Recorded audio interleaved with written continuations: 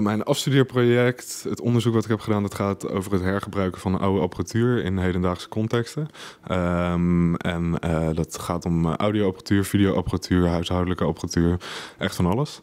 Um, en het specifieke project waar ik op afgestudeerd ben, dat is Panoptical. Um, en uh, dat gaat over massa-surveillance, uh, hoe mensen omgaan met technologie.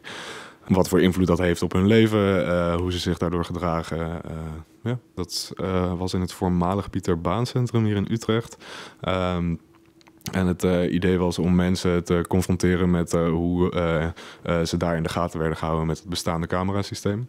Um, en hoe ze anderen in de gaten konden houden met, dat systeem, met datzelfde systeem. Maar ja, ja, als je een werk hebt staan wat midden in de stad staat, wat uh, door iedereen gezien wordt, uh, of, of niet, maar uh, iedereen die daar voorbij komt, die kan het praktisch gezien zien. ja, dat, dat, dat is gewoon heel mooi. sowieso het gebruik maken van openbare ruimte. Dat kunst in de meest brede zin van het woord zou veel toegankelijker moeten zijn.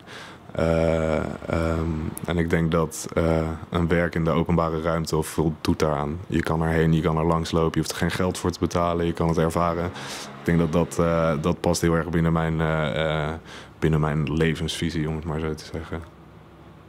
Het geeft mij heel veel voldoening om dus echt fysiek iets op te bouwen. Um, en mensen dat gevoel te geven dat ze dat ze een scène instappen, dat ze een omgeving instappen die, hun, die ze niet in hun dagelijkse leven zouden meemaken.